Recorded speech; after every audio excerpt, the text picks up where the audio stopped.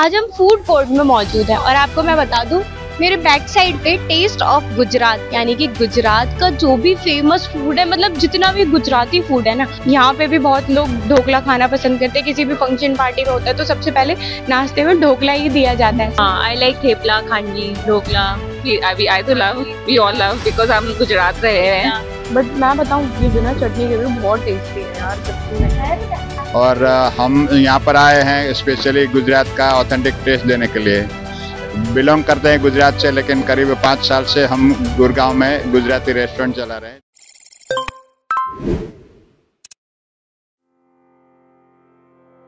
घर की गृहिणी औरत होती है। ऐसा कहते हैं कि जब तक महिला घर में किचन में ना खाना बनाए, तब तक कहीं ना कहीं टेस्ट अधूरा रह जाता है। सूरज कुंड की हर अपडेट हम आप तक ज़रूर पहुंचाते हैं, पर आज हमने सोचा कि कुछ अलग करते कुछ डिफरेंट करते हैं, अपने दर्शकों को कुछ डिफरेंट दिखाते हैं। नमस्कार साथियों, आप देख रहे हैं पहचान फरीदाबाद और मैं आपके साथ सोनम शर्मा। आज हम फ़ूड कोर्ट में मौजूद हैं, और आपको मैं बता दूँ, मेरे बैक साइड पे टेस्ट ऑफ़ गुजरात, यानी कि गुजरात का जो भी फ़ेमस फ़ूड है मतलब जितना भी गुजराती फ़ूड है ना, वो मेरे साथ मैम लेकर के पहुँची हैं गुजरात से। मैम से बातचीत करूँगी कहाँ से आई हैं और क्या क्या लेकर के आई हैं। उनके साथ सर भी मौजूद है, उनसे भी बातचीत करेंगे, दोनों से बात करेंगे।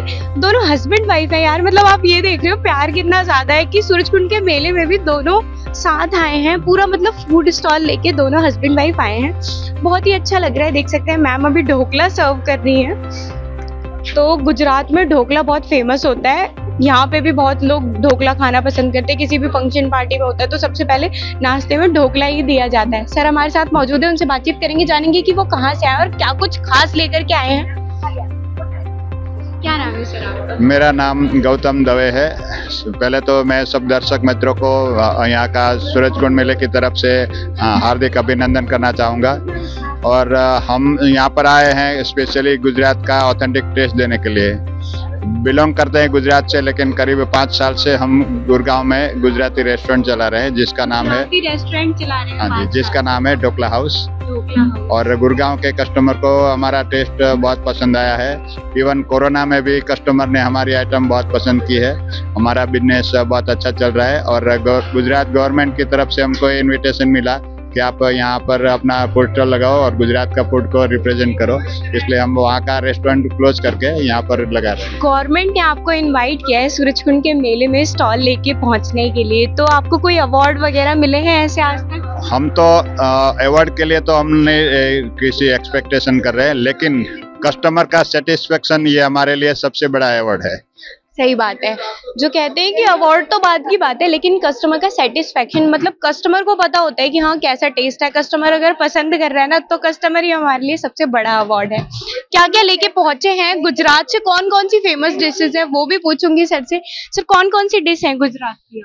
यहाँ पर जो डिश है, वो दिल्ली एनसीआर में कुछ नाम उनका चेंज किया हुआ है तो मैं आपको दोनों चीज़ बताऊँगा। यहाँ पर जो खमन ढोकला के नाम से जाना जाता है वो एक्चुअली गुजरात का नायलॉन खमन है। जो हम कस्टमर को भी यहाँ पर एजुकेट कर रहे हैं कि खमन ढोकला है वो एक्चुअली गुजरात का नायलॉन खमन है। वो हम सर्व कर रहे हैं उसके साथ में वहाँ यहाँ पर वाइट ढोकला बोल रहे हैं। यहाँ पर ज़्यादातर रेस्टोरेंट जो बना रहे हैं वो सूजी का ढोकला वाइट ढोकला बना रहे हैं लेकिन हम यहाँ पर ये चावल वाला बना रहे हैं जो उसको गुजरात में इदड़ा बोला जाता है। इदड़ा। क्योंकि इसका इडली का बैटर रहता है तो उसको गुजरात में उसको इदड़ा बोलते हैं। उसके अलावा हम थेपला बताते हैं थेपला बनाते हैं। थेपले भी कस्टमर को काफ़ी पसंद आते हैं। जो वेज कस्टमर है, जो एब्रॉड जाते हैं, जहाँ पर वेज को खाने का दिक्कत होता है, हमारे पास में सौ सौ, दो सौ दो सौ पीस पैक करवा के लेके जाते हैं और वहाँ एक एक दो दो महीने तक वहाँ का वो खाने का वहाँ पर अरेंजमेंट उनका हो जाता है। उसके अलावा खांडवी है। यहाँ पर ज़्यादातर रेस्टोरेंट है खांडवी फिलिंग करके बेचते हैं। हमारी खांडवी एकदम प्लेन बेसन से बनती है। तो सारी चीज़ ऑथेंटिक गुजराती टेस्ट में है।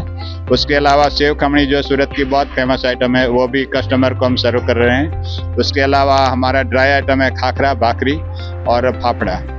फाफड़ा आपको गुजरात में जो मिलता है, वो क्वालिटी का अभी ऑनेस्टली हम यहाँ पर नहीं बना कर पा रहे क्योंकि उसमें जो एक्सपर्टाइज है वो हमारे पास में नहीं है। लेकिन हम जो दे रहे हैं, वो टेस्ट आपको वही मिलेगा। क्रिस्पीनेस थोड़ा आपको उसमें इतना अच्छा नहीं मिलेगा। उसके अलावा हम बना रहे हैं यहाँ पर सेव खमणी खांडवी है सेव खमणी है खाकरा है बाखरी है और फाफड़ा है। सर सूरज कुंड के मेले में जो सबसे ज़्यादा सेल हो रही हो ऐसी कौन सी डिश है?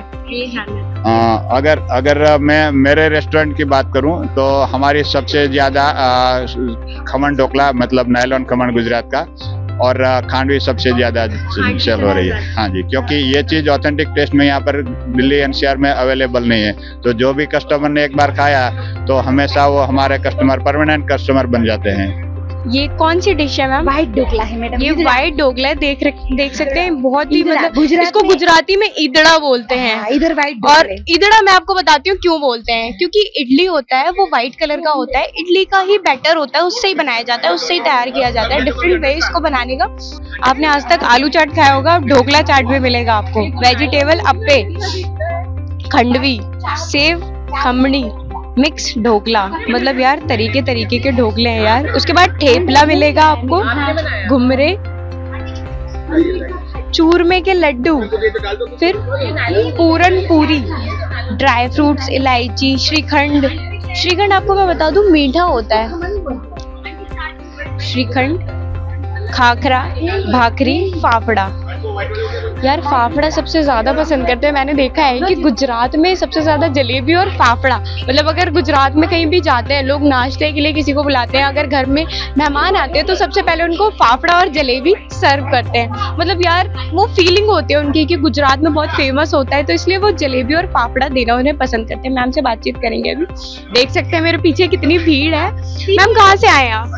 हम तो यही नोएडा से आए हैं पर है राजस्थान के। And state in Gujarat also यहाँ से गुजराती फ़ूड क्या आप पसंद करते हैं गुजराती फ़ूड अभी I too love we all love because हम गुजरात रहे हैं।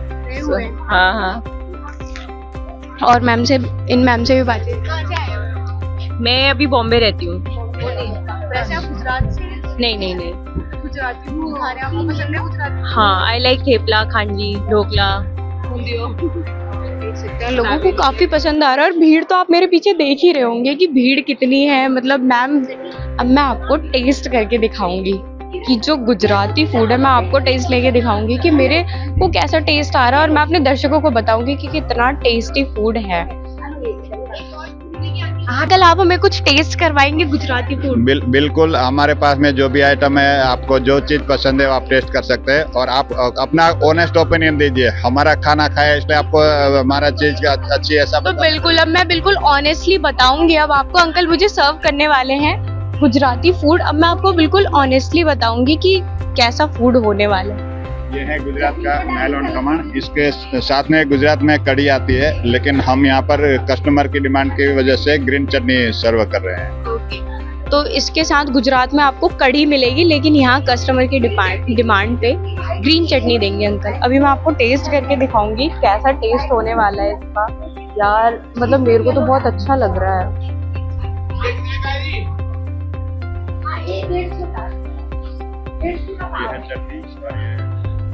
ग्रीन चटनी आ गई है, मेरे पे रहा नहीं जा रहा था तो मैंने सोचा टेस्ट करूँ। ग्रीन चटनी आ गई है मेरे पास।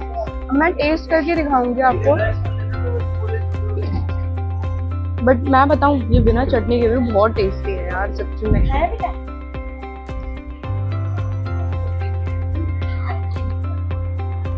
बहुत टेस्टी है। मैंने ढोकला पहले भी खाया था बट इतना टेस्टी नहीं खाया था लिटरली आंटी बहुत टेस्टी है। आंटी ने बनाया आंटी से भी बातचीत करूँगी। है जय श्री कृष्ण हाँ, ये मैंने खुद बनाया है हमारा गुजराती प्योर ढोकला है। पाँच साल से गुजरात में भी चला रही हूँ मैं।